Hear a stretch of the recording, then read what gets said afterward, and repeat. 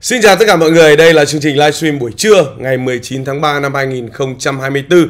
Khi Vlog Minh Hải đang livestream chương trình này thì các cầu thủ chúng ta đang bay ở trên trời di chuyển từ Việt Nam sang Indonesia. Ngày hôm nay có thể coi là một ngày rất quan trọng, chúng ta chính thức đặt chân lên đất Indonesia. Hôm nay thì khoảng tầm hơn 1 giờ chiều thì à, đội của chúng ta sẽ hạ cánh, sau đó là về khách sạn. Chiều ngày hôm nay thì à, huấn luyện viên Philip Chuse sẽ có một cuộc họp, sau đó là toàn đội của chúng ta sẽ bắt đầu bắt tay vào tập ngay lập tức. Chúng ta không có nhiều thời gian đâu. Hôm nay ngày 19 rồi, ngày mai ngày 20 là chỉ còn có đúng tập buổi tập ngày 20 thôi. Đến ngày 21 thì chúng ta đã đá rồi. Ngày 22 thì cũng là giờ này, à, à, không chính xác là giờ chiều. Khoảng tầm 2 giờ chiều thì chúng ta sẽ bay về.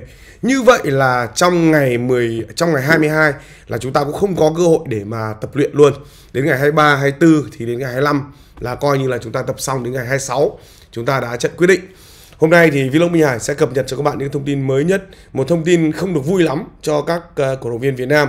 Nhưng mà đây là một cái thông tin mà mình tin là cả đất nước Indonesia đang chờ đợi.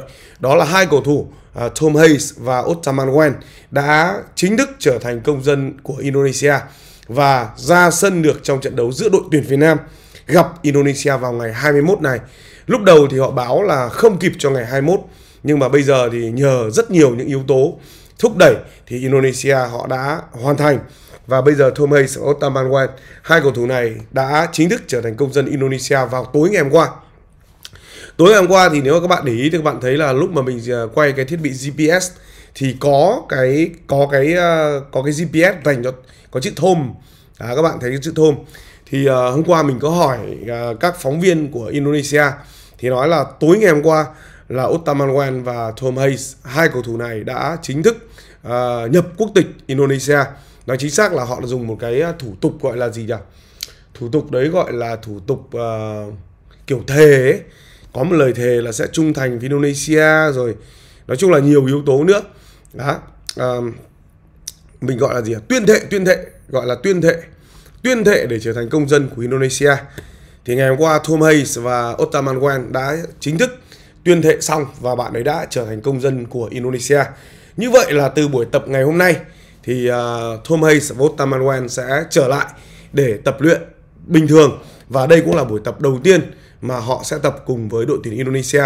Theo quy định của FIFA là khi anh chưa trở thành công dân của một quốc gia nào đấy thì anh không được quyền tập trước ngay cả khi là cầu thủ đồng ý và liên đoàn bóng đá quốc gia huấn luyện viên trưởng đồng ý thì đây cũng là một cái yếu tố mà mình nghĩ là nó cũng nó cũng làm cho uh, Tom Hayes và Wan có thêm nhiều những cái khó khăn trước khi mà trở thành công dân thực sự của Indonesia. Như vậy là Tom Hayes, đội trưởng của huấn luyện viên trước đây, đội trưởng của Văn Hậu trước đây, cầu thủ đã từng thi đấu uh, cho câu lạc bộ ờ, Heerenveen cùng với Văn Hậu và cũng đã từng thi đấu 6 hơn 60 trận và ghi đến tận 5 bàn. Đấy, đây là vị trí tiền vệ công các bạn nhé. đây là vị trí tiền vệ kiến thiết. Mình nghe thấy mọi người so sánh và mình cũng đã xem bạn này thì thực sự thì ở trên một khía cạnh nào đấy mình đánh giá bạn này rất là cao. À, có thể là so sánh được với Henrio của Thép Xanh Nam Định bây giờ. Và ngày hôm nay thì uh, Indonesia họ cũng sẽ vẫn tiếp tục à, mình từ ngày hôm qua mình sang đây mình đặt chân đến Indonesia thì mình thấy thật sự từ sân tập cho đến sảnh khách sạn từ phòng ăn khách sạn cho đến rất nhiều nơi mình đều nghe nói về bóng đá. Và ngày hôm qua thì các bạn biết là mình mặc chiếc áo này mình mặc chiếc áo đội tuyển quốc gia thì tự nhiên mình cũng không hiểu vì sao mà bây giờ nó lại trở thành cái cái đề tài bàn tán của những người Indonesia và cả những người Việt Nam. Mọi người nói là bây giờ đội tuyển Việt Nam đã gửi cả uh, huấn luyện viên phó sang để uh, gì? Để để gọi là tìm hiểu về Indonesia. Mình nói luôn là Việt Nam của mình thì không lởm đến mức như thế. À, Việt Nam có nhiều cách để nhiều cách để để uh, nghiên cứu về đối thủ chứ làm sao phải đi xem một cái buổi tập. Mà buổi tập này chỉ xem các bạn để khởi động. Mình cho là Indonesia họ cũng hơi nhạy cảm quá. Bên cạnh đó thì mình nghĩ là có lẽ là đây cũng là niềm tự hào của bóng đá Việt Nam là khi các phóng viên Việt Nam mà đi tác nghiệp đội tuyển quốc gia bao giờ chúng mình cũng mặc áo lá cờ tổ quốc chúng mình rất ít khi mặc nguyên cả bộ. Đấy, nhưng mà chúng mình sẽ mặc áo. Ờ, điều đấy cũng có một cái thông điệp là chúng tôi yêu đất nước Việt Nam chúng tôi ủng hộ đội tuyển Việt Nam chứ chúng tôi không phải là thành viên của đội. Nếu mà thành viên của đội thì phải mặc cả quần và đi cả giày thậm chí là đeo cả ba lô nhưng bọn mình chỉ mặc duy nhất chiếc áo khoác thôi. Nhưng mà có thể là bên đó họ không hiểu. Ngày hôm qua thì buổi tập của Indonesia mình không thấy có phóng viên nào mặc áo của Indonesia. À, mình thấy họ mặc áo của MU họ mặc áo của Liverpool chứ họ không mặc áo của Indonesia. Đó thì mình cũng đã từng chia sẻ với các bạn rồi. Mình hy vọng rằng là câu chuyện này nó sẽ chấm dứt ở đây. À, sáng ngày hôm nay mình mặc dù mình đã rất là cố gắng để liên hệ với uh, ban quản lý khu liên hợp thể thao Bung Karno để vào quay sân nhưng mà họ không đồng ý. Họ nói rằng là liên đoàn bóng đá châu Á yêu cầu là chỉ có những buổi tập chính thức thì các phóng viên mới được vào. Còn bây giờ thì họ giải thích với mình là nó đang trong giai đoạn hoàn thiện cho nên là có thể nó có sẽ sẽ có những cái hạng mục mà nó chưa đạt được cái tiêu chuẩn như người ta mong muốn truyền thông cho nên là người ta không đồng ý. Mình ok thôi cái chuyện này là chuyện quá bình thường. Đối với chúng ta thì cái lúc nào lúc nào phù hợp thì lúc đấy chúng ta sẽ làm thôi. À, mình không bao giờ xé rào chả bao giờ người ta ngăn cấm mà chúng ta cố tình chúng ta không phạm những cái sai lầm như vậy. Đó là những cái à, thông tin đầu tiên mình muốn chia sẻ với các bạn. Ngay sau khi chương trình này à, kết thúc thì mình sẽ di chuyển về à, khách sạn của đội tuyển đón đội tuyển ở đó. À, mình cũng muốn là xem xem đến nơi đến chốn mọi người như thế nào. À, mình nghĩ là sẽ hơi mệt vì sáng nay các cầu thủ phải đi hơi sớm. Thậm chí là anh em đến sân bay còn phải ăn cả mì. Thì uh, đó cũng là cái chuyện rất là bình thường trong cái chặng đường di chuyển thôi. Cầu thủ quốc tế thì mình nghĩ là nó cũng chả có cái vấn đề gì quá lớn. Tất nhiên là nếu mà chúng ta mà có cái à, sự chuẩn bị tốt hơn anh em cầu thủ nó sẽ đỡ mệt hơn uh, Indonesia họ sẽ đi chuyên cơ chúng ta thì không có chuyên cơ. Chúng ta bay bằng cái ờ, chuyến bay sang xong chúng ta lại bay về. Và chúng ta vẫn phải chờ. Tất nhiên là chúng ta bay thì bay thẳng cho nên là nó không phải chuyển chuyến. Nhưng mà Indonesia thì họ sẽ bay bằng chuyên cơ. Tức là có thể họ sẽ sang Việt Nam sớm hơn cả đội chủ nhà. Đó là thông tin mà mình muốn chia sẻ với các bạn ờ, ở phần đầu. Còn mình cũng đang cập nhật rất nhiều những cái thông tin. Thông tin ngắn có thông tin bình luận có số liệu thống kê có những câu chuyện có và mình cập nhật ở trên rất nhiều những nền tảng.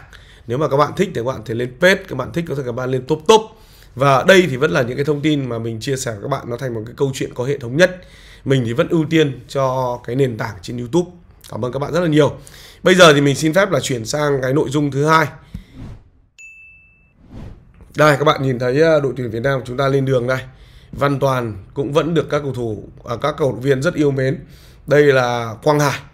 Quang Hải à, là niềm hy vọng rất lớn của chúng ta ở trận đấu này. À, Nguyễn Philip vẫn là người giành được cái sự quan tâm rất lớn của người hâm mộ bóng đá Việt Nam. Và đương nhiên rồi mình vẫn đánh giá Đỗ Hùng Dũng. Đỗ Hùng Dũng sẽ là cầu thủ rất quan trọng. Nói thật là nếu mà có một điều ước gì đó cho một cầu thủ nào đó ở đội tuyển quốc gia bây giờ mình ước là Hùng Dũng sẽ khôi phục lại được thể lực khôi phục lại được phong độ. Bởi vì là hơn bất cứ một trận đấu nào trận đấu này là trận đấu mà trận đấu này là trận đấu mà Hùng Dũng cần phải phát huy được tối đa khả năng của mình. Các bạn biết đấy. Thi đấu với Indonesia trên sân vận động Bung Karno nó không hề đơn giản. Với sức chứa lên đến 80.000 người và cái hào khí của bóng đá Indonesia đang lên rất cao. Thì đương nhiên là chúng ta sẽ cần có những cầu thủ vừa phải có kỹ thuật, vừa phải có bản lĩnh và điều quan trọng nhất là đứng trước đám đông không hề sợ hãi. Đó thì đấy là cái mà mình muốn chia sẻ với các bạn cái ở phần đầu của chương trình. Ngày hôm qua thì mình đã hứa với các bạn rồi là hôm nay ờ, Minh Hải sẽ chia sẻ với các bạn về ờ, câu chuyện liên quan đến bóng đá Việt Nam, bóng đá Indonesia và bóng đá Thái. Đâu mới là hình ảnh thực sự của bóng đá Việt Nam? Bởi vì thời gian vừa rồi ờ, cũng xin được chia sẻ rất là thẳng thắn với mọi người thời gian vừa rồi mọi người cũng ờ, chỉ trích đội tuyển Việt Nam. Mọi người cũng nói rằng là đội của chúng ta hiện nay đang yếu quá. Rồi đã bao giờ chúng ta gặp Indonesia mà lại cảm thấy khó khăn như thế này chưa? Hôm nay mình sẽ nói với các bạn luôn là đây mới là hình ảnh thực sự của bóng đá Việt Nam. Đây mới thực sự là đẳng cấp của bóng đá Việt Nam. Còn ở đâu đó 5 năm vừa rồi, các bạn bảo 5 năm thì nó là một cái gì đó ờ, nó đã là đủ để chúng ta chứng minh một điều gì đó chứ? Mình trả lời các bạn luôn, đúng 5 năm là khoảng thời gian đủ dài nhưng nó còn quá ngắn cho một cái chu kỳ đào tạo trẻ. Đó, và mình nói là bóng đá Việt Nam của chúng ta chúng ta đào tạo trẻ rất là đuối. Cho nên là cái việc mà chúng ta 5 năm rồi chúng ta mới có được một cái lứa cầu thủ hay như thế này thì nó là chuyện rất bình thường. Đó, thì mình nói với các bạn là đây mới là hình ảnh thực sự của bóng đá Việt Nam. Còn 5 năm vừa rồi là chúng ta có được thành quả từ sự đầu tư đột biến từ lứa Hoàng Gia Lai, Arsenal GMG, từ PVF, từ Sông Lam Nghệ An, từ Hà Nội FC và rất nhiều những các vệ tinh khác. Nhưng mà sau cái lứa đó mình đã cảnh báo các bạn rồi, sau lứa đó là chúng ta không còn sản sinh ra những cái lứa tốt như vậy nữa. Dựa trên cái yếu tố là chúng ta không còn đầu tư bài bản lớp lớp lang và đầu tư lớn như cho những cái lứa trước. Chứ là chúng ta không có được những cầu thủ tốt. Chứ là khi là cái lứa của những công phượng của những cái thế hệ đầu thì mình nói là khi mà họ đã bị uh, suy giảm phong độ họ không còn duy trì được phong độ đỉnh cao cùng nhau. Ở đây là mình nói là cùng nhau tức là cùng một lứa họ phải duy trì được phong độ đỉnh cao cùng nhau. Thì chúng ta sẽ lại trở về đúng với cái bản chất của nền bóng đá. Và như mình đã nói với các bạn thì đây mới chính là bản chất của nền bóng đá Việt Nam. Chứ không phải là bóng đá Việt Nam của chúng ta thời gian vừa rồi có nhiều những cái lợi thế. Mình khẳng định luôn với các bạn như vậy. Ờ, có hai điều mình muốn nhấn mạnh với các bạn là bóng đá Việt Nam của chúng ta chỉ trồi lên được trong cái thời điểm mà chúng ta đầu tư vào công tác đào tạo trẻ với lứa của Công Phượng, của Quang Hải. Còn sau đó thì ngay cả Hoàng Gia Lai cũng không đào tạo ra được lứa những cầu thủ tốt nữa. Và các bạn nhìn thấy PVF thì sau cái lứa của Hạ Đức Trinh, Đỗ Thanh Thịnh là chúng ta không còn nhìn thấy những cầu thủ tốt nữa. Thì đấy là một cái vấn đề. Khi mà các bạn không có công tác đào tạo trẻ cách đây nhiều năm thì đến thời điểm hiện tại chúng ta sẽ không có được các bạn nhìn thấy cái thế hệ của chúng ta 2007 chúng ta đào tạo thì chúng ta có 2018 đến 2022 nhưng sau cái 2007 đấy chúng ta không còn lứa nào nữa. Ngay cả Hoài Gia Lai khóa 3 khóa 4 chúng ta không thấy có nhân tài. Không có nhiều nhân tài như là lứa trước. Và đặc biệt là chúng ta không có một thế hệ cầu thủ. Họ chín cùng thời. Họ trưởng thành cùng thời. Họ phá bỏ được những cái eh, gọi là gì? Áp lực đồng thời họ cũng không thiết lập được một cái đẳng cấp mới một cách đồng thời với nhau thì sẽ rất là khó. Có nhỏ là hai, ba cầu thủ. Mọi người nói đấy, bóng đá Việt Nam vẫn sản sinh ra những cầu thủ giỏi đấy thôi. Như là Đình Bắc, một số cầu thủ khác. Mình nói luôn với các bạn, đấy chỉ là một trong số rất nhiều những cầu thủ thôi. Để một lứa tốt, nó không phải là chỉ là 11 cầu thủ. Nó cũng không phải là 18 cầu thủ, mà nó phải là tầm khoảng tầm 40 đến 50 cầu thủ họ phải chín đồng thời với nhau. Họ phải phá vỡ được những cái giới hạn của bản thân cùng với nhau. Và thậm chí là họ còn có thể bọc lót được cho nhau. Đấy, thì mới có thể tạo ra được. Cho nên mình nói với các bạn là sau thế hệ của Tuấn Anh à sau thế hệ của Công Phượng, của Quang Hải, thì chúng ta bắt đầu trở lại với cái guồng quay. Và cái guồng quay đấy chính là cái bản chất của nền bóng đá Việt Nam của chúng ta. Đào tạo trẻ, kém, không có một cái giải vô địch quốc gia đủ mạnh. Ở đây mình nói là theo rất nhiều những cái khía cạnh từ ngôn ngữ đủ mạnh ở đây là về trọng tài, về cơ sở vật chất, cơ sở hạ tầng, từ dinh dưỡng, y tế, rất nhiều những yếu tố khác. Những yếu tố đó là những yếu tố mang tính hỗ trợ để chúng ta thi đấu tốt hơn. Và các bạn cũng đừng quên, bây giờ nó có một cái xu hướng nữa. Trước đây thì chúng ta đào tạo trẻ. Trước đây thì chúng ta giải quyết cái vấn đề là nâng tầm cái giải vô địch quốc gia. Nhưng bây giờ thì nó lại còn có thêm một yếu tố nữa, thưa quý vị và các bạn. Đó là câu chuyện liên quan đến chất lượng và thành công của những cầu thủ nội địa được đưa ra nước ngoài thi đấu. Các bạn thấy không? Nó không đơn giản một tí nào. Trước đây chỉ là câu chuyện phát triển môi trường bóng đá nội thì bây giờ nó là câu chuyện các bạn phải xuất khẩu được cầu thủ. Và cầu thủ được xuất khẩu đấy ra nước ngoài phải chơi tốt phải tiến bộ và phải có nhiều cầu thủ như vậy. Các bạn nhìn thấy Hà Lan các bạn nhìn thấy à, một à, làn sóng gọi là Hà Lan hóa. Nói là Hà Lan thì nó không hoàn toàn đúng ngày hôm qua ông Sinti Young cũng vặn lại cái quan điểm của Duy Mạnh là không biết là đang đá với đội Indonesia hay là Hà Lan. Thì ông có nói là đây đều là những người Indonesia kiều tức là họ có dòng máu Indonesia. Có thể có ông có bà có bố có mẹ hoặc là có một cái mối quan hệ huyết thống nào đấy có thể là gần có thể là xa nhưng họ có dòng máu Indonesia trong người. Nhưng mình nói luôn là bây giờ như huấn luyện viên uh, kiêm giám đốc kỹ thuật ông Jun Gede đã từng chia sẻ với mình và cũng đã từng chia sẻ trên sóng của Vlog Minh Hải rồi ông nói là không nhất thiết là phải cứ cứ phải là người ở nước ngoài. Không nhất thiết là phải là việt kiều. Có dòng máu rồi, bố mẹ hai ba đời, ông bà năm sáu đời là ở nước ngoài rồi. Không cần như thế đâu. Chúng ta chỉ cần mang cái tiêu chuẩn của châu âu về việt nam thôi. Và chúng ta tuân thủ nó thì chúng ta vẫn có thể thành công được. Đấy, và theo như ông Jun Gede ông đã nói với chúng ta từ năm 2018 đó là bóng đá Việt Nam cần phải xuất khẩu cầu thủ ra nước ngoài từ khi còn rất trẻ để cho họ học tập được chứ đến 24, 25, 26 tuổi mới ra thì chỉ có một cửa thôi đó là cửa thất bại. Quang Hải đã thất bại rồi và mình nghĩ là tới đây thì khả năng rất cao là Hoàng Đức cũng không dám đi. Mình nói thẳng là Hoàng Đức cũng không dám ra nước ngoài đâu. Đó. Và chúng ta thấy là trong thời kỳ đỉnh cao chúng ta thắng được Indonesia. Ngoài SEA Games chúng ta thắng ở trận chung kết ra thì chúng ta cũng chưa thắng được họ ở đội tuyển quốc gia với một cách biệt đủ lớn để chúng ta nói là chúng ta ao trình hay là chúng ta vượt tầm. Và ngay cả cái thời điểm 5 năm thành công nhất của chúng ta, để mà giành chiến thắng trước người Thái ở cấp đội tuyển quốc gia, ở những cái giải đấu lớn, mình nghĩ là vẫn chưa có. Chúng ta thắng được họ ở Kings Cup, ok. Chúng ta thắng ở họ ở một M 150 Cup với U23 đó, nhưng mà thực sự nếu mà để mà nói là để mà chúng ta thắng được Thái Lan, đến bây giờ chúng ta vẫn chưa thắng được. Ngay cả khi chúng ta rất là thành công và mình cũng nói luôn là bóng đá Thái Lan, bóng đá Indonesia hiện nay, họ đang có nhiều cơ hội để phát triển, bứt phá hơn so với bóng đá Việt Nam. Tức là chúng ta nhìn về quá khứ, chúng ta nhìn về hiện tại, bây giờ mà là mình nhìn về tương lai. Những người đang là chủ tịch của liên đoàn bóng đá Thái và Indonesia, họ đều là những tài phiệt. Tức là họ có rất nhiều tiền, họ sẵn sàng tung tiền ra để họ phát triển nền bóng đá của họ. Họ có thể lôi kéo những tỷ phú vào để tạo ra cái nguồn tài chính tốt, tạo ra cái nền tảng cho giải vô địch quốc gia phát triển, tạo ra nền tảng để cho cái công tác đào tạo trẻ của họ cất cánh. Và như mình đã nói là Marampang đang lập một cái kế hoạch là hỗ trợ công tác đào tạo trẻ ở Thái Lan.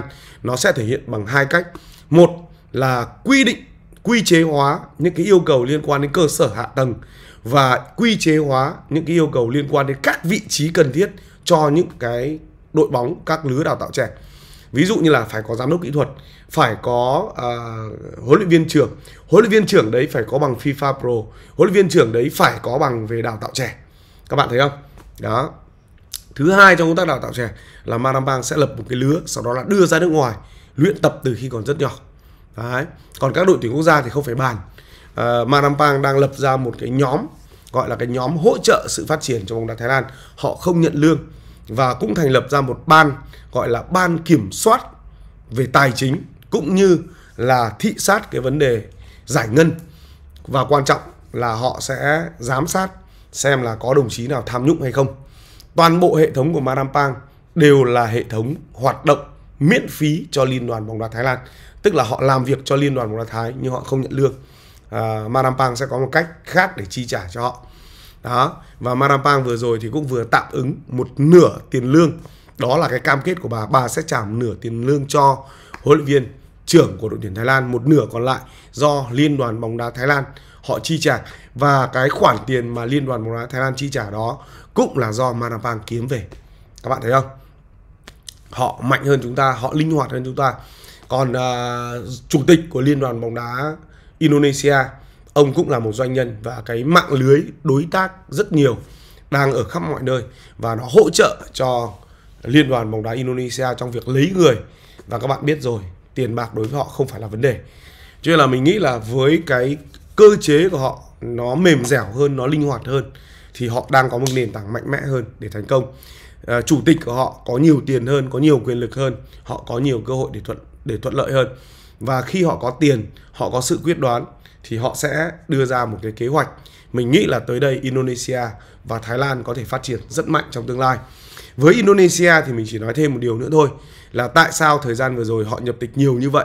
Là vì hai lý do. Lý do đầu tiên là họ muốn làm một cái cuộc cách mạng, tức là cái sự phát triển của bóng đá Indonesia bây giờ nó đi theo một hướng khác.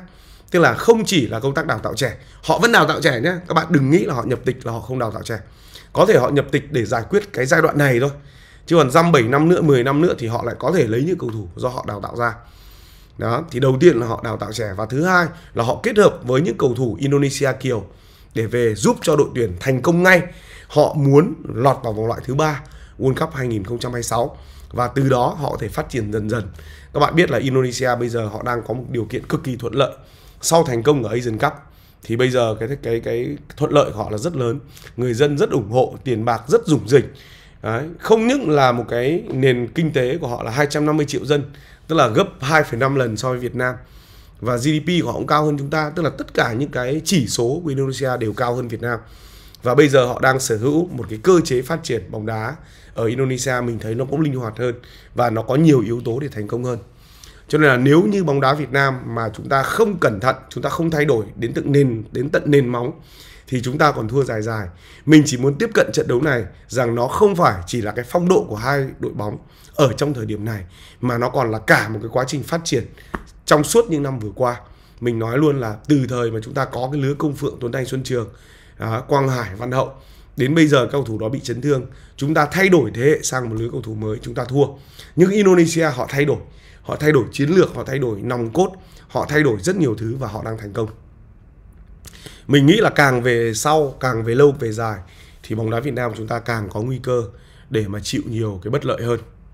Đó là những cái gì mình muốn nói với các bạn bằng tất cả cái cái suy nghĩ, bằng tất cả những thông tin, bằng tất cả quan điểm của mình. Cái màn trình diễn của đội tuyển Việt Nam bây giờ nó mới là tấm gương phản chiếu chính xác bóng đá Việt Nam, bản chất của bóng đá Việt Nam, tính cách của bóng đá Việt Nam và kể cả mức đầu tư của bóng đá Việt Nam còn 5 năm đại thành công vừa rồi, nó là hội tụ đầy đủ những yếu tố. Bầu đức đầu tư cho bóng đá, bầu vượng đầu tư cho bóng đá, sông lam, nghệ an cũng đã chuyển mình, rất nhiều những câu lạc bộ khác cũng đã đóng góp. Và quan trọng là gì? Là chúng ta có 5 năm đại thành công cùng với một huấn luyện viên rất phù hợp. Đó là huấn luyện viên Park Hang-seo.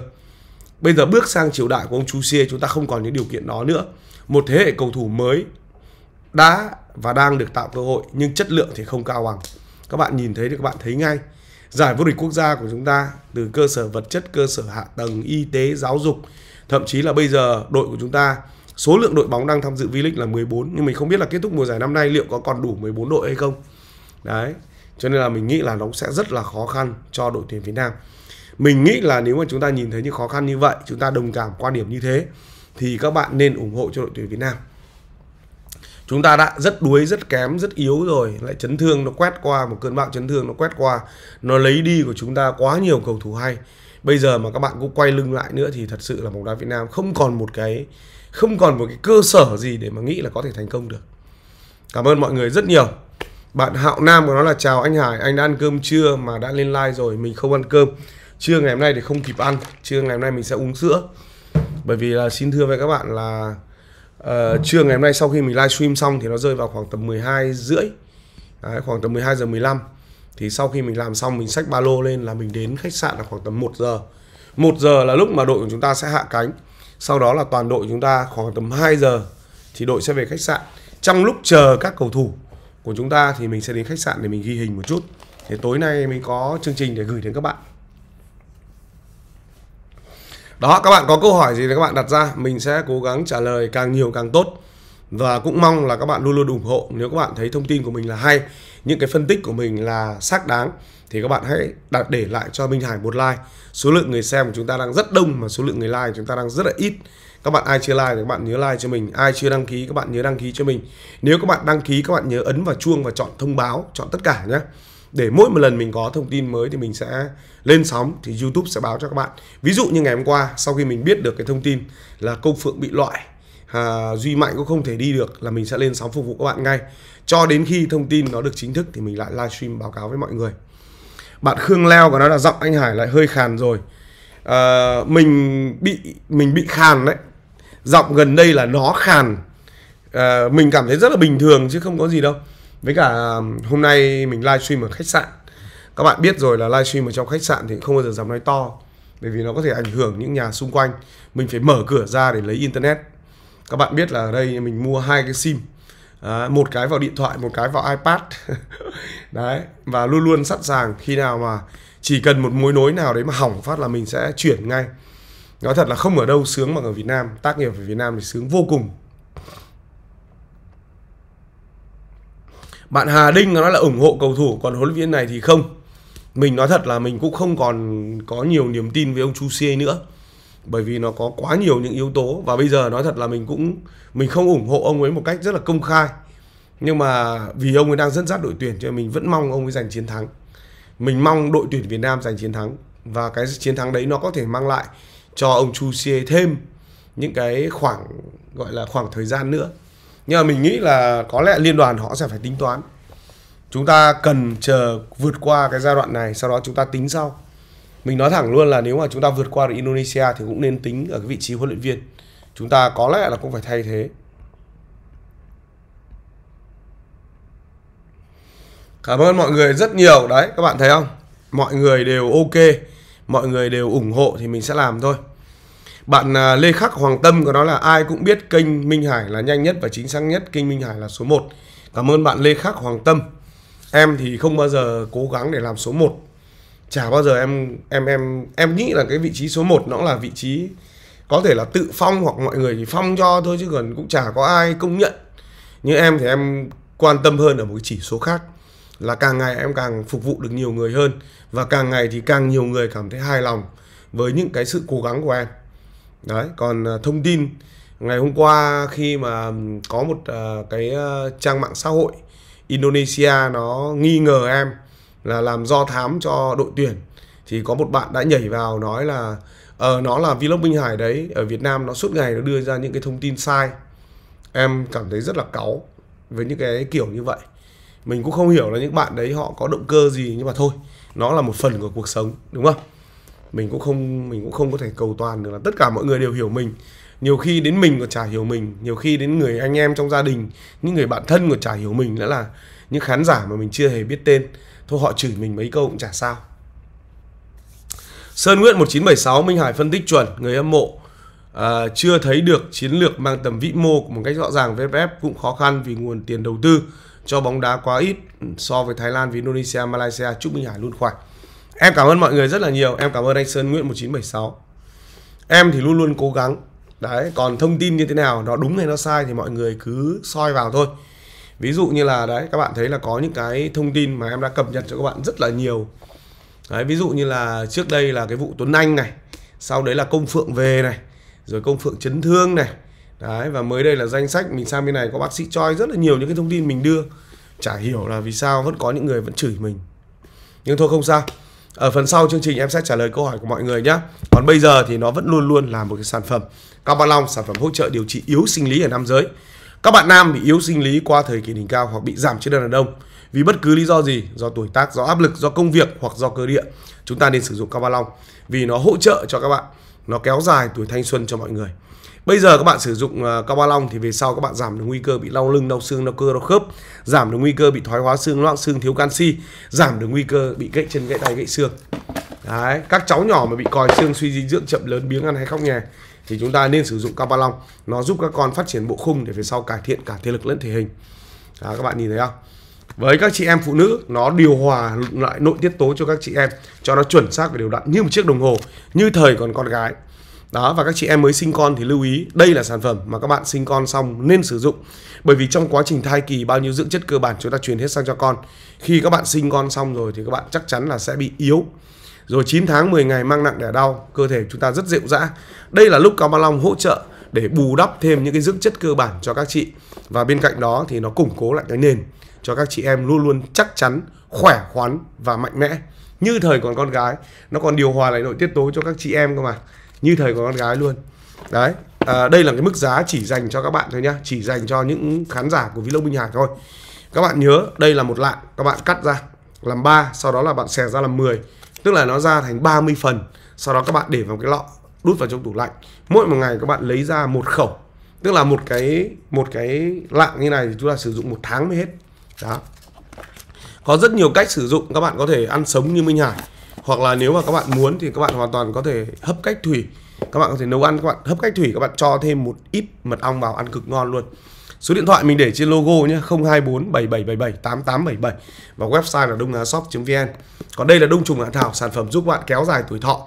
Nó bổ sung thêm dưỡng chất dưỡng chất này bổ nhưng không béo, rất tốt cho sức khỏe. Thứ hai là nó tăng cường số lượng tế bào tốt để bồi đắp đến tất cả các bộ phận trên cơ thể, giúp cơ bắp luôn luôn săn chắc, cơ thể luôn luôn tráng kiện và nó còn kích hoạt cơ chế tự hàn gắn nội thương.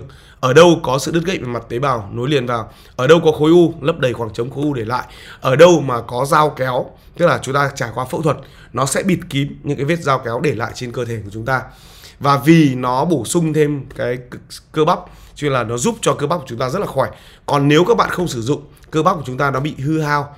Tức là cơ bắp thì luôn luôn nó lại càng ngày nó càng ít đi.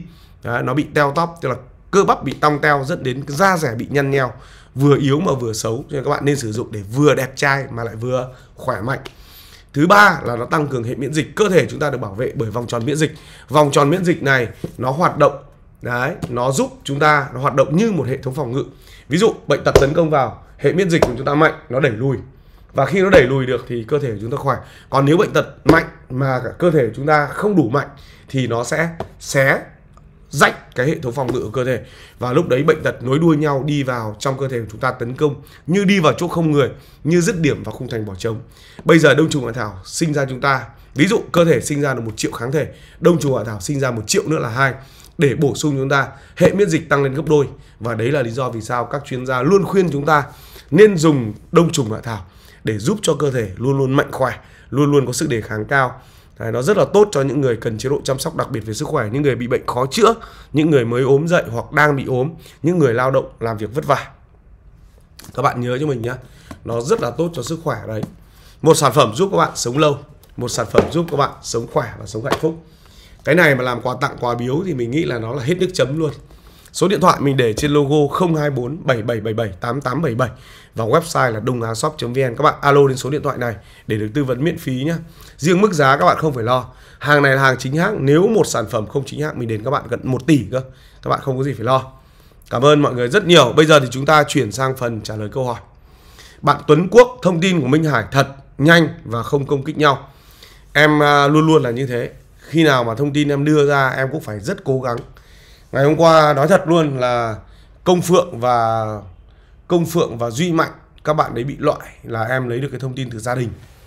Chứ còn liên đoàn thì họ họ rất, tức là em cũng nghe được rồi nhưng không ai dám đưa ra một cái lời chốt là các bạn đấy có phải về hay không. Bởi vì cuối cùng thì ông chú xie vẫn đợi. Đó. Và đến chiều ngày hôm qua thì sau khi sang bên này thì mình đã có được thông tin đó rồi. Mình báo cho các bạn và mình đợi thông tin chính thức. Sau khi thông tin chính thức có thì mình sẽ báo lại với các bạn một cách chính thức bạn Trường Phạm có nói là những thành phần chửi Minh Hải là những kênh không có người xem nên ghen tị đấy ạ. Em cũng nghĩ là như vậy. Thay vì là họ đi làm thông tin, họ mang lại những cái chương trình có giá trị với mọi người để làm sức hút với mọi người thì họ lại cứ lấy em ra. Họ cứ lấy em ra làm mồi câu, họ cứ mắng chửi em để để cuối cùng mọi người nhảy vào mọi người tức. Cho nên em đề nghị mọi người là những cái kênh như thế, những người văn minh chúng ta đừng xem. Bởi vì mọi người mà cứ xem kênh đấy thì giống như kiểu tiếp thêm view cho họ. Họ tưởng là họ định hướng chuẩn thế là họ vẫn cứ chửi em thôi. Cho nên nếu mà các bạn mà thương em thì các bạn đừng có xem những cái cái kênh tào lao đấy. Thì em cảm ơn các bác rất là nhiều. Rồi một ngày nào đấy họ cũng phải thay đổi thôi, vì khán giả họ nhìn rất là rõ. Bởi vì Minh Hải cũng chỉ là một cái thằng đi làm việc bình thường thôi. Có khác chăng chỉ là nó rất là tôn trọng những người khán giả, những người đặt niềm tin vào nó và nó đã làm bằng tất cả khả năng của mình. Chứ em cũng nghĩ là em cũng chả có cái gì, em cũng chả phải là người nổi tiếng. Em cũng chả phải là cầu thủ, cũng chả phải là huấn luyện viên. Thế là tại sao một cái kênh thể thao lại cứ đưa một phóng viên thể thao ra làm nhân vật chính? À, với các bạn đó thì mình khuyên các bạn ở đây nếu các bạn đang xem chương trình này mình khuyên các bạn các bạn nghe được thì nó tốt cho cuộc sống của các bạn thôi để các bạn thực sự sống trở thành một người lương thiện nếu các bạn muốn thu hút được người hâm mộ thì các bạn nên tạo ra những chương trình có giá trị chứ đừng lấy những cái khác à, mình nhớ một câu nói rất là hay nếu các bạn muốn thu hút được một đàn bướm thì hãy trồng hoa các bạn muốn thu hút được một đàn ngựa hãy trồng cỏ đấy, thì cỏ và bướm họ tự đến. Chứ còn bây giờ không tạo ra giá trị thì khó lắm. Ok. Thôi, không không quan tâm đến họ nữa. Bây giờ có lẽ đây cũng là cái chương trình cuối cùng em nói về họ nhé cảm ơn mọi người rất là nhiều. Bây giờ thì chúng ta chuyển sang phần trả lời câu hỏi. Các bạn quan tâm đến ờ, câu chuyện gì các bạn đặt ra, em sẽ trả lời câu hỏi của mọi người. Mọi người cứ có câu hỏi gì mọi người đặt ra em trả lời nhé công phượng liệu có được đá trận lượt về ở sân mỹ đình không anh hải? Công Phượng không đủ. Bạn đấy không đủ thời gian để tập luyện nhé. Bạn Tân Thượng Đệ của nó là em theo dõi kênh của anh gần 10 năm Và cũng theo dõi đội tuyển trên 20 năm. Chưa bao giờ em thất vọng huấn luyện viên nào như ông Chu c này cả. Mãi yêu Vlog Minh Hải. Cảm ơn bạn Tân Thượng Đệ. Mình cũng hơi thất vọng với ông Chu c Mình phải thừa nhận với các bạn là như vậy. Bởi vì nó còn có nhiều những câu chuyện ở phía sau nữa, chứ nó không chỉ đơn giản. Và nói thẳng luôn là bóng đá Việt Nam của chúng ta bây giờ nếu mà để mà khen ông ấy giỏi hay là không giỏi thì nó cũng rất là khó. Bởi vì cái thành tích giờ nó đang quá đuối, nói giỏi cũng khó. Mình nói với các bạn là ông ấy đã từng rất giỏi và ông ấy giỏi ở những cái nền bóng đá phát triển hơn, chứ không không giỏi ở những nền bóng đá như Việt Nam. Chiến Nguyễn Minh, chào Hải nhé. Mình mới like và chia sẻ cho Hải. Chúc Hải thành công và sức khỏe. Chúc đội tuyển vượt qua Indonesia. Em cũng rất là mong, thật sự. Đến bây giờ phải nói là điều mà em mong mỏi nhất bây giờ là làm sao đấy đội tuyển Việt Nam của chúng ta sẽ có được hai cái kết quả thật là tốt trong hai trận đấu tới. Bình thường à, đá bóng là phải mong chiến thắng. Em thì là một người tham vọng rất là lớn. Nhưng mà thật sự là với với hai trận đấu với Indonesia này thì em chỉ mong là có hai trận hòa hai trận hòa thôi nó là rất là đủ rồi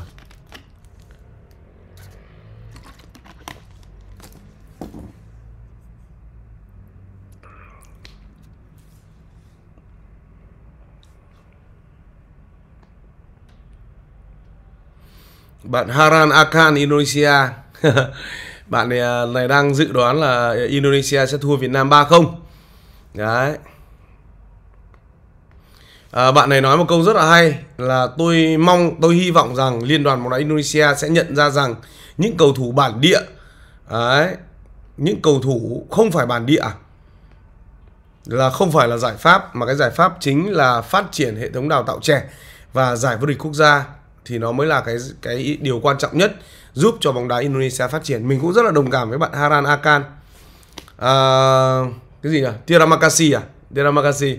Mình uh, cũng uh, nói với bạn uh, Haran Akan mình không thể nói được bằng uh, tiếng Indonesia nhưng mà cũng chia sẻ với bạn một chút xíu. Uh, đây là để cho mọi người Việt Nam hiểu thôi. Thực ra thì cái cái giải vô địch quốc gia nó là cái nền.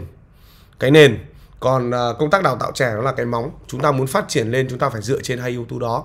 Còn công tác đào tạo trẻ thì nó có hai loại. Một là đào tạo trong nước hay là đào tạo nước ngoài. Còn cái chất lượng cầu thủ thì nó có hai loại. Một loại là thi đấu ở giải vô địch quốc gia trong nước và hai là thi đấu ở giải quốc uh, giải quốc gia uh, giải những giải quốc gia nước ngoài. Thì nói thật luôn là cái này nó tùy từng yếu tố. Mình thì mình nghĩ là chúng ta tự lực thì tự cường. Chúng ta có thể cần những cầu thủ nhập tịch nó chỉ trong một giai đoạn ngắn hạn nào thôi các bạn nhìn thấy Nhật Bản và Hàn Quốc, họ chơi rất là hay, chơi rất là tuyệt vời, là dựa trên những cầu thủ ra châu Âu thi đấu. Hay là Iraq Iraq tự nhiên trở thành một đội bóng cực kỳ lớn mạnh, đúng không ạ? Kể từ năm 2007 đến bây giờ mình mới thấy Iraq nó mạnh đến như thế. Thì họ cũng đã nhập quốc tịch đến 7 8 thậm chí là 10 cầu thủ. Đấy. Cho nên là mình nghĩ là đấy là cái con đường, nó là con đường chắc là chúng ta phải đi. Bạn ta tấn lê của nó là nó có hiểu tiếng việt đâu mà minh hải nói em chỉ chia sẻ mọi người thôi chứ họ nghe thì nghe, họ không nghe thì thôi, quan trọng gì, đúng không? Bạn sao đồng của nó là anh Hải sang đấy chắc không ngủ được hay sao mà thần sắc kém quá. Không phải đâu, em vừa mới đi về đấy. Em vừa đi về em hơi mệt. Tối ngày hôm qua thì đúng là nó lại nhà, nó hơi khó ngủ, nhưng mà bọn em thì là dân chuyên nghiệp rồi. Bọn em làm cho đến khi mệt mỏi, đến khi mà mắt nó không thể mở được nữa thôi. Từ ngày hôm qua sang đây thì riêng top top em đã dựng đến 10 cái clip rồi em còn lấy biết bao nhiêu thông tin cho mọi người nữa. Thực ra là cũng vất vả. Chia sẻ mọi người chút là vất vả. Sáng ngày hôm nay xuống ờ, nhà ăn của khách sạn ăn. Không ăn được cái gì luôn. Em ăn được mỗi hai quả trứng, còn lại lấy một đĩa rau. Bởi vì đồ ăn ở bên này không ăn được. Cảm ơn mọi người rất là nhiều, cho nên là nó cũng hơi mệt chút xíu thôi. Chứ là mình, em nghĩ là nó không phải vấn đề đâu, mọi người đừng lo cho em. Em vẫn ok mà. Các bạn có câu hỏi gì thì các bạn đặt ra là bạn dư phước ở đó là anh hải nhận định à, về quan điểm của em bóng đá sẽ theo chu kỳ đội tuyển Việt Nam sẽ thành công. Và bây giờ đi xuống em nghĩ ông Châu Jie Việt Nam nên dũng cảm làm huấn luyện viên trưởng bởi vì chắc chắn là ông biết đội tuyển Việt Nam rất yếu. Mình đồng ý. Quan điểm của bạn rất là chuẩn nhưng mà mình chỉ có một cái quan điểm ngược lại tức là một quan điểm hơi hơi khác lại một tí của bạn thôi. Cái việc là ông Chu Xie nhận đội tuyển Việt Nam là quá xúc cảm rồi bởi vì ai cũng nhìn thấy đội tuyển Việt Nam đang đi xuống. Và các bạn cũng biết là đội tuyển Việt Nam đi xuống đến mức mà thầy Park còn đang không dám, thầy Park còn mời ba lần còn không dám ở. Đó, cái thứ hai nữa là mình muốn chia sẻ với các bạn thêm một cái câu chuyện nữa. Đó là cái câu chuyện liên quan đến sự đều tay. Nếu bạn nói là nó có chu kỳ thì nó là đúng, nhưng mà nó cần có sự đều tay. Tức là nó đừng có một cái lứa tốt quá, xong rồi về sau 10 lứa sau lại không ra cái gì. Thì đó là cái sự đều tay của nền bóng đá. Đấy là quan điểm cá nhân của mình thôi bạn đoàn độ của nó là anh muốn mua một chiếc áo sơ mi trắng Minh Hải ơi. Em mời anh vào à, vào vicento.vn lát nữa em sẽ chia sẻ. Lát nữa em sẽ chia sẻ với mọi người cái này nhá. Dasagon thông lao khỏe không bạn? Ui thông lao thật à? Thông lao thật là mình quen đấy. Dasagon thông lao mình đã sang tận nhà Dasagon thông lao để mình phỏng vấn rồi. Cảm ơn uh, thông lao. Bạn trường trần của nó là minh hải cay à? Không mình không cay. Mình uh, mình là một người ăn được ớt chứ là đối với mình thì mình không có cảm giác cay. Mình chỉ chia sẻ như thế thôi, còn ai nghe được thì nghe, không nghe được thì thôi, kệ người ta. Đúng không? Người ta muốn trở thành phiên bản tốt nhất của chính mình, hay là trở thành một bản sao nhầu nhĩ của người khác thì kệ người ta. Mình không có quan tâm nữa mà. Tin phạm, mấy ông bầu trong nước còn đòi bỏ câu lạc bộ. Học viện chạy ăn từng bữa thì lấy đâu ra mà lâu dài và ổn định anh ơi? Đồng ý với bạn tin phạm. Mình rất đồng cảm với quan điểm này của bạn. Thật sự luôn với các bạn là khó. Cái này mình nói là rất khó luôn. À, Bạn Xuân Tùng Vũ của nó là nói bóng đá Việt Nam đi xuống là sai. Các cầu thủ đang ở thời kỳ đỉnh cao mà. À, Đấy. Thì tùy bạn. Bạn nghĩ thế nào thì tùy bạn. Đỉnh cao sao chúng ta gặp Indonesia vẫn thua? Đỉnh cao sao mà chúng ta đá Bây giờ màn trình diễn của chúng ta kém thế?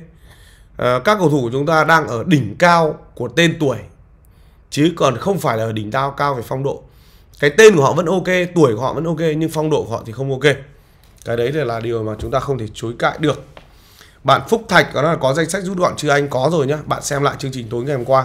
Mình đã đưa lên cái danh sách vào tối ngày hôm qua rồi. Các bạn có câu hỏi gì thì các bạn đặt ra, mình sẽ trả lời. Và bây giờ thì mình vẫn chia sẻ với các bạn về con men hao này. Con men hao này thì bây giờ ra thêm một bản C4 nữa. C4 tức là gì? Nó là cái cái trụ đứng. Nó có bốn cái ổ cắm điện và nó có ba cổng sạc ba cổng là hai cổng USB một cổng tai C ở đằng sau nó vẫn có cái automat để canh giữ điện cho các bạn. Khi mà có vấn đề gì là ngay lập tức cái automat này nó nhảy ngay. Và khi nó nhảy, nó cắt điện. Nó cắt điện có nghĩa là nó sẽ không xảy ra cháy nổ. Một đổi một trong vòng 6 tháng và các bạn sẽ được bảo hành lên đến một năm. Và các bạn vẫn đang được giảm giá nha các bạn nhé đấy, lõi đồng của nó là 3 3 ly. Chịu được tải lên đến 4.000W các bạn cắm hai ba nồi lẩu, ăn tẹt ga luôn. Đó. Ở đây nó còn có bốn cái chân để giúp cho các bạn là nó không bị, nó không bị di chuyển. Các bạn tưởng tượng là một bữa tiệc lịch sự các bạn các bạn đặt này để cắm nồi lẩu, nó rất là ngon luôn. Còn các bạn để ở trên ờ, bàn làm việc thì nó quá chuẩn, cực kỳ xịn sò. Số điện thoại thì mình để ở trên logo các bạn nhé. Nếu các bạn mua một chiếc thì là giá là 339 nghìn. Còn nếu các bạn mua combo hai chiếc các bạn được giảm còn 698 nghìn thôi. Cảm ơn các bạn rất là nhiều nhé các bạn nhớ cho mình nhé cái ổ cắm ờ, uh, Manhouse uh, ờ, C4 và V8 cảm ơn mọi người rất là nhiều. Bạn uh, Phong Tòng nói là ổ điện này mới ra đời à anh Hải? Không ổ điện này mình đã bán từ trong Tết rồi bây giờ đang được restock đang được restock lại và chúng mình mới uh, mang về được một loạt. Các bạn đặt sớm đi không có nó không có đâu. Nhiều bạn bảo là ra ngoài mua cái này có thể bằng giá khoảng 200 nhưng mình nói với các bạn là có thể là các bạn không hiểu về điện nhưng mà nếu mà các bạn nghiên cứu về cái lõi của nó thì các bạn sẽ thấy cái cơ chế an toàn của nó. Bởi vì an toàn ở đây mình hiểu được rằng các bạn chỉ cảm thấy an toàn chỉ cảm thấy yên tâm khi các sản phẩm của bạn an toàn. An toàn này là an toàn cho gia đình. Gia đình là có bố mẹ chúng ta có vợ con chúng ta có gia đình của chúng ta. Nên là các bạn hết sức là để ý hộ mình. Bây giờ cháy nổ nhiều lắm các bạn ạ. À. những cái, cái những cái cơn hỏa hoạn do chập điện nhiều lắm ấy. Là bởi vì bây giờ người ta sử dụng những đồ không tốt. Cả một căn nhà hàng nhiều tỷ đồng bị thiêu rụi chỉ bởi vì các bạn tiết kiệm có 300 nghìn. Số điện thoại mình để trên logo các bạn nhé. Đó 0889 33 3300 và website là menhouse.vn còn à, đây là chiếc áo chiếc áo này có tên là President. Chiếc áo này cũng đang được giảm giá cho các bạn. Giá một chiếc của nó là 639 nghìn nhưng bây giờ các bạn mua combo 3 chiếc giá chỉ còn 1 triệu 398 nghìn thôi. À, cũng nói với ờ, mọi người đây là chiếc áo President nó là vải lụa Nhật Bản. Đây mình ờ, ngồi xa lên tí cho mọi người nhìn thấy. Nó không nhăn các bạn nhé. Nó không nhăn. Hôm vừa rồi trước khi mình đi Indonesia là nhện đã ngồi giặt chiếc áo này để mang để cho mình mang đi. Nó bằng vải lụa cho nên là nó mềm mịn mượt mát mặc rất là mềm. Đấy, và nó có cơ chế điều hòa không khí. Nó rất là mát các bạn ạ. Nó tương thích với rất nhiều loại quần Đấy, rất nhiều loại quần và nó cũng phù hợp với rất nhiều những không gian mà các bạn đến. Các bạn nhìn thấy nó xịn sò này các bạn mặc rất là mát. Trời mùa hè rồi các bạn nên sắm cho mình. Mình à, nhắc lại với các bạn là số cái số tiền mà các bạn phải bỏ ra để mua một chiếc sau khi giảm giá rồi là 639 nghìn. Nhưng nếu các bạn mua 3 chiếc thì nó sẽ chỉ còn 1 triệu 398 nghìn. Các bạn lại còn được tặng thêm một cái ví da cá sấu. Mình để đâu rồi ví da cá sấu trị giá 1 triệu 598 nghìn. Ví da cá sấu đấy cho dù là nó là quà tặng nhưng nếu các bạn chứng minh nó không phải là da cá sấu xịn 100% mình vẫn đền các bạn một tỷ. Đấy, các bạn thấy không? Bởi vì ở Vicento chúng mình không có hàng kém chất lượng. Nếu các bạn vào vicento.vn các bạn nhớ đọc pass vlog Minh Hải thì các bạn sẽ uh, có được thêm cái cơ hội để được giảm giá thêm. Và đấy cũng là nơi mà các bạn có một quyền. Đó là quyền được tạo combo theo yêu cầu của mình. Các bạn thích combo nào các bạn tự tạo vì mình giảm giá quanh năm sản phẩm mới cũng như là sản phẩm cũ là giảm giá thoải mái luôn. Các bạn mua càng nhiều giảm giá càng lớn mua càng nhiều tặng quà càng nhiều. Thứ ba đó là câu chuyện liên quan đến 240 kim mã. Đó là địa chỉ của Vicento nếu các bạn đến đấy nhớ đọc thêm cái part là Vlog Minh Hải để được giảm thêm tiền nhé. Số điện thoại vẫn là như vậy 0889 333300 mình để trên logo. Cảm ơn mọi người rất là nhiều. Bây giờ thì mình xin phép là tiếp tục. À, bạn Bùi Độ của nó Indonesia nhập tịch nhanh thế ngày hôm qua là ngày cuối cùng mà họ nhập quốc tịch cho Tom Hayes và Ottoman Wen dây V8 dài bao nhiêu? V8 dày dài đâu đó khoảng tầm 3 mét mình cũng chả đếm. À, tùy từng loại các bạn ạ. Bạn Thạch hiện hành hai khách của nói hôm nay tiếng nghe rõ và rất hay Minh Hải ơi. Hôm nay thì à, em cũng đã thật sự là sang đây em thuê một cái phòng riêng. Phòng này là phòng đôi em thuê một phòng riêng để à, em kiểm tra tất cả về điện rồi internet vì cái phòng đôi ấy, thì là nó rộng hơn cho nên là khi chúng ta nói ấy, thì cái tiếng nó thoát ra nó ít hơn. Thì nó đỡ làm ồn ở ở, ở cái uh, hành lang. Mình sợ nhất là cái, những cái cặp vợ chồng họ ở bên cạnh mà lại có trẻ con ấy rất là sợ. Bạn Thành Lê em gửi bài thơ ở trên mà anh không xem gì cả. À, bạn inbox cho mình nha nó đông quá mình không trả lời hết được đâu. Chiều ngày hôm nay mình sẽ đi tác nghiệp buổi tập của đội tuyển Việt Nam và chiều ngày hôm nay thì mình cũng sẽ đi đón đội bây giờ ngay sau khi chương trình này xuống sóng thì mình sẽ đến uh, khách sạn của đội để đón đội và sau đó là mình sẽ làm mình sẽ cập nhật cho các bạn những hình ảnh mới nhất những thông tin mới nhất trên fanpage của mình cũng như là trên top top các bạn nhớ follow tất cả các kênh của Vlog Minh Hải để uh, các bạn sẽ được uh, chia sẻ những thông tin mới nhất, nóng nhất và chính xác nhất. Cảm ơn các bạn rất là nhiều. Thôi bây giờ thì Minh Hải xin phép. Ai chưa like các bạn nhớ like cho mình. Nào bây giờ mình muốn các bạn 12.000 hơn 12.000 người đang xem mà số lượng người like của chúng ta bây giờ mới có 3.000. Các bạn ai chưa like các bạn like cho mình xem nào. Nào chúng ta chờ các bạn 30 giây để các bạn like cho mình nào. Ai chưa đăng ký các bạn nhớ đăng ký giúp mình. Cảm ơn các bạn rất là nhiều. Triệu Việt Khương theo dõi kênh của anh hàng ngày vợ của em ghen luôn bảo anh yêu bác Hải hơn cả vợ mình uh, hy vọng là các bạn sẽ có một khoảng thời gian tranh thủ để xem vlog Minh Hải đừng để cái thời gian xem vlog Minh Hải nó ảnh hưởng đến cuộc sống của các bạn nói thật luôn là Minh Hải thể thao bóng đá chỉ là cái con tép nếu mà so sánh với những người thân của các bạn. À, nhất là đấy là vợ của các bạn con của các bạn. Uh, tiếng Anh có một câu rất hay là happy wife and happy life. Tức là nếu mà bạn có một người phụ nữ hạnh phúc thì cả gia đình của bạn hạnh phúc và cuối cùng là cả cuộc đời của bạn sẽ hạnh phúc. Chúc các bạn luôn luôn có được hạnh phúc và các bạn luôn luôn mang đến cho chúng ta những cái ý kiến những cái không gian à, những cái ý kiến những cái uh, gam màu cho cái không gian này trở nên rực rỡ và có ý nghĩa với mọi người hơn cảm ơn mọi người rất nhiều. Bây giờ minh hải xin được kính chào. Tạm biệt.